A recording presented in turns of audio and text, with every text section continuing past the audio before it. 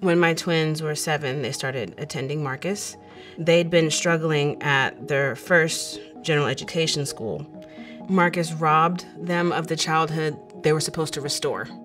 Marchus is a school that is designed to serve students with disabilities, especially those with emotional and behavioral needs. My daughter found the confidence to come forward, and at eight years old, she described to me being held like a coat on a coat hanger. That is what started my investigation into what was actually going on at that school.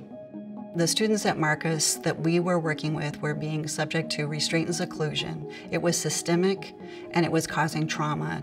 There were a number of practices that you couldn't even imagine where they would pin the children to a wall, where they would pin them on the floor. My daughter was a very slim child, and yet she had three or four adults holding an eight year old down.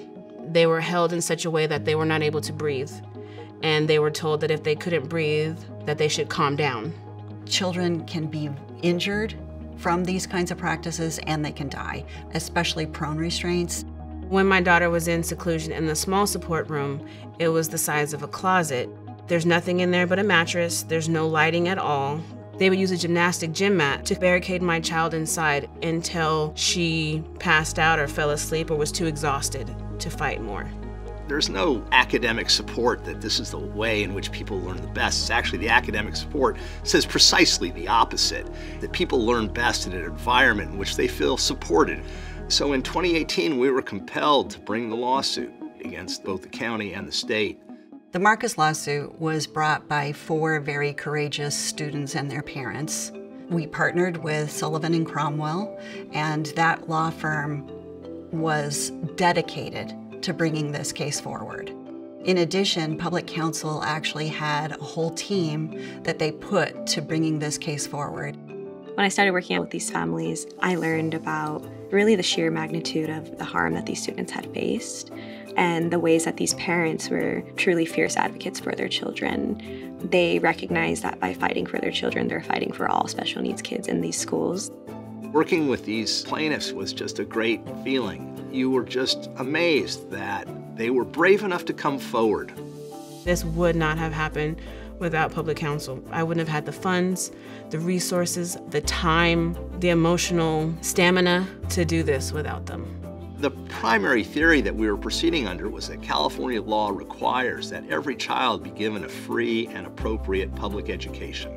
And there's a lot of protections that are built into that, like being free of restraints and seclusion, except in emergency situations where there is a danger to someone else.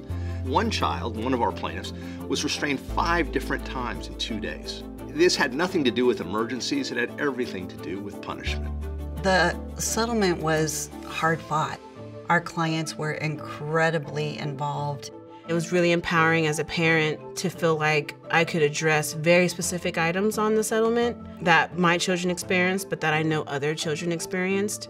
And my hope would be that it can be considered the standard that can be streamlined through other schools. The settlement includes accountability.